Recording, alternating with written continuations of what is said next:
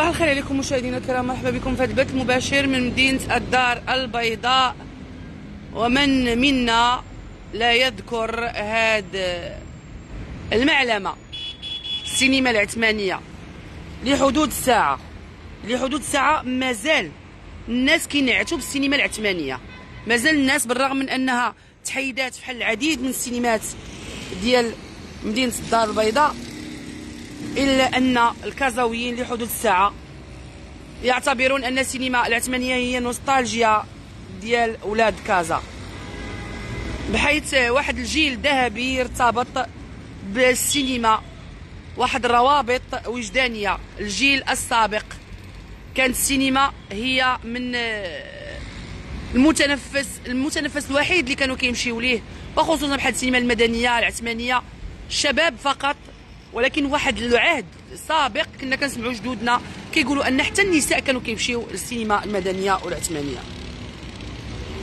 لأننا كنعرفوا أن في واحد الوقت في السبعينات ويعني وبدايه الثمانينات كان غياب ديال التلفزيون داخل أغلب البيوت المغربية. أواخر الستينات وبداية السبعينات. وحتى الناس اللي داروا التلفازة ديك الساعة كان الجهاز يعني ما كيتوفرش على واحد الوقت وكيسالي ما كاينش أفلام ما كاينش مسلسلات. بحال هذا الشيء اللي ولينا دابا تنشوفوه في القنوات ديال اليوتيوب وعلى مواقع التواصل الاجتماعي. كان واحد الشح على مستوى إدراج الأفلام. وبالتالي كان ولاد كازا عندهم واحد العشق ديال الأفلام وخصوصا الأفلام الهندية. كانوا كيدخلوا يتفرجوا فيهم بزاف. وأصبح ولوج قاعات السينما ضروري جدا.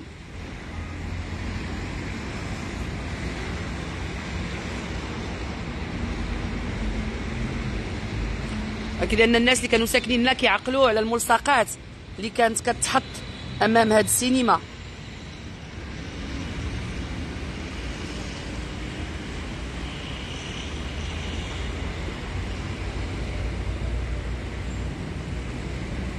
كانوا الناس كيدخلوا تقريبا باش يتفرجوا في الفيلم تقريبا شي درهم ونص درهم ونص باش كانوا كيدخلوا يتفرجوا في الفيلم.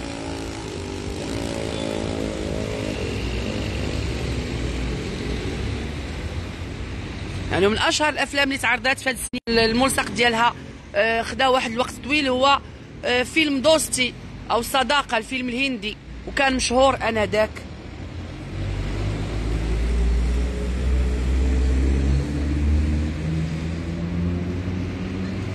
أكيد اليوم أن أي واحد آه، من الساكنة ديال مدينة الدار البيضاء ديال الجيل الذهبي وديال الزمن الجميل ملي كيدوز من هذه المنطقة ينتاب الحنين لذكريات آه، ربما تذكرنا بالوالدين ديالنا وبحبابنا وبسنوات مضت.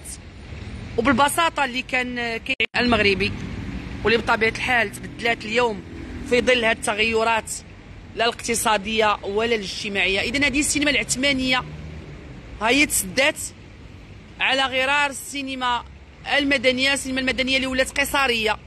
للأسف الشديد في حال هذه المعالم اللي تنشوفهم هكا تيتسدوا التاريخ ديالنا كيمشي. التاريخ ديالنا والنوستالجيا والهوية ديالنا وذكرياتنا وعدة أمور اللي كانت جميلة.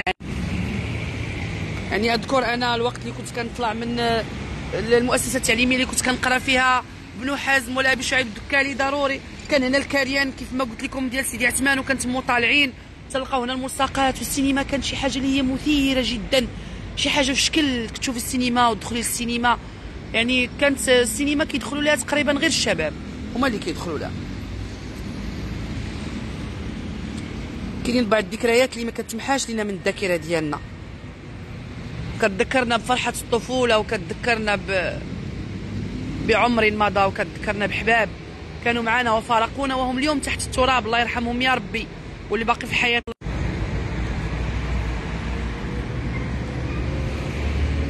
لأن السينما العثمانية هي فرحة الجيل. جيل الستينات والسبعينات وحتى تقريبا بداية التسعينات. للأسف الشديد هذا هو الحال اللي أصبحت عليه هاد السينما. شكون فيكم؟ باقي كيمشي للسينما. اذا مشاهدينا الكرام صباحكم مبروك نختم معكم البث مباشر على أمل أن نتلاقى بكم في بث آخر بإذن الله.